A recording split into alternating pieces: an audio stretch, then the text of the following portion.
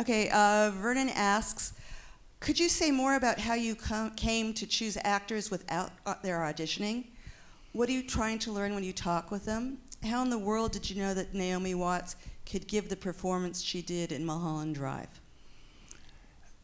I uh, and I don't know why, but I I don't ever read.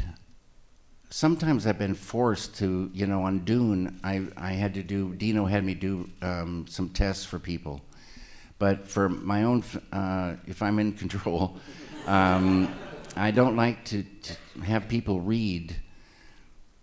They um, it's very embarrassing for them. It's very difficult, and they read the script, maybe the pages, but their take may be far away from my take, and then I'd want to start rehearsing with them, and those interviews could last forever.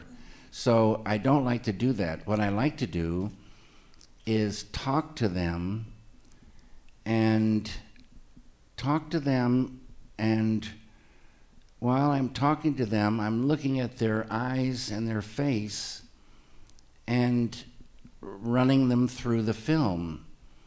And just the way they talk and the way they are, some don't even get into the film. Some go away a little bit and then they fall out, and one will go all the way through. And it's so it's the idea to get the right person for that role and you can feel it as you talk.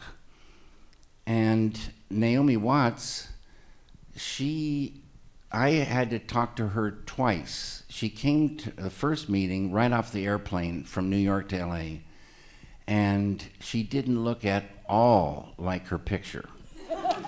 and I was kind of surprised, but I, I knew uh, that uh, there was something about her and we talked, and then I asked her to come back again um, with some makeup, and um, and we talked again, and then my assistant's son was in a film with Naomi um, a couple of years before that, and.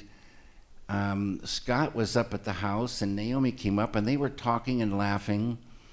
And something I saw with the two meetings and the way she was uh, kind of freely uh, laughing with Scott, I said, "You've got the you've got the part," and the rest is history.